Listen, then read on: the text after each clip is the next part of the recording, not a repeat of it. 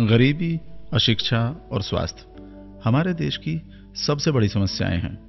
हमारे देश की बहुत बड़ी आबादी को भरपेट खाना भी नसीब नहीं हो पाता है। कमज़ोर तबके के इन लोगों को बेहतर इलाज की सुविधा भी मुहैया नहीं है और ना ही इनके बच्चों को एजुकेशन मिल पाती है। समाज के इसी वंचित तबके की सेवा करने के लिए डॉक्टर अशोक जैनर ने एमजे चैरिटेबल ट्रस्ट की स्थापना की है। डॉक्टर अशोक जैनर ने यह ट्रस्ट अपने पिता स्वर्गीय महेंद्र जैनर की स्मृति में बनाया है। स्वर्गीय महेंद्र जैनर शिक्षक होने के साथ साथ एक बहुत बड़े समाजसेवी भी थे। वे किसी भी गरीब या बेसहारा व्यक्ति की मदद करने के लिए हमेशा तैयार रहते थे। डॉक्टर जैनर की माताजी स्वर्गीय प्रकाशवती भी जरूरतमंद लोगों की हमेशा मदद करती रहती थी। डॉक्टर अशोक जैनर ने अपने माता पिता के उन्हीं आदर्शों पर चलते हुए गरीब और बेसहारा लोगों की सेवा करने का संकल्प लिया है। एमजे चैरिटेबल ट्रस्ट के माध्यम से कई गरीब और जरूरतमंद लोगों की मदद की जा रही है।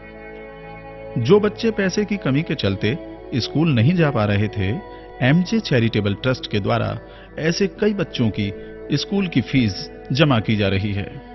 अगर इन बच्चों को यह मदद ना मिल पाती तो इनके लिए शिक्षा हासिल करना लगभग असंभव था और लाखों दूसरे बदनसीब बच्चों की तरह। ये भी आज कहीं मजदूरी कर रहे होते। एमजे चैरिटेबल ट्रस्ट के ज़रिए डॉक्टर अशोक जैनर ऐसे ही लगभग 20 गरीब बच्चों की फ़ीस जमा कर रहे हैं और उनका भविष्य संवार रहे हैं। ये ट्रस्ट इन बच्चों को फ़ीस के अलावा स्कूल की यूनिफॉर्म और किताबें भी मुहैया करा रहा है।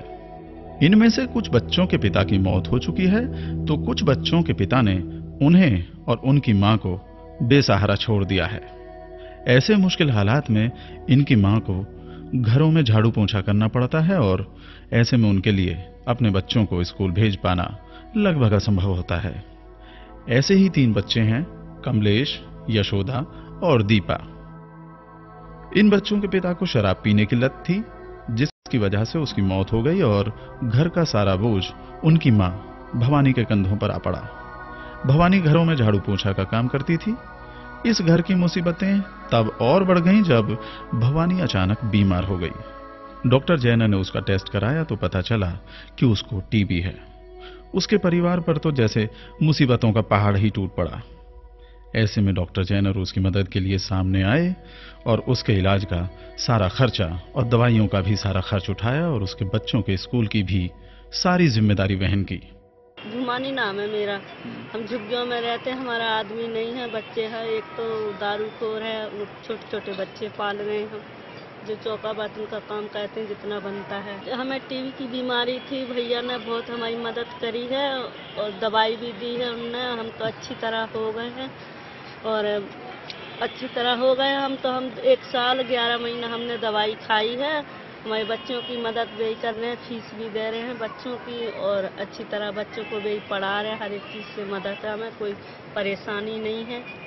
अब भवानी के तीनों बच्चे, कमलेश, यशोदा और दीपा, स्कूल जा रहे हैं। ये तीनों साहिबाबाद के सरस्वती पब्लिक स्कूल में पढ़ रहे हैं।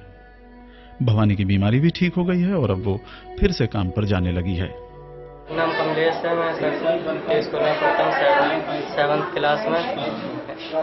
एमजे ट्रस्ट की तरफ़ से हमारी मदद की जा रही है।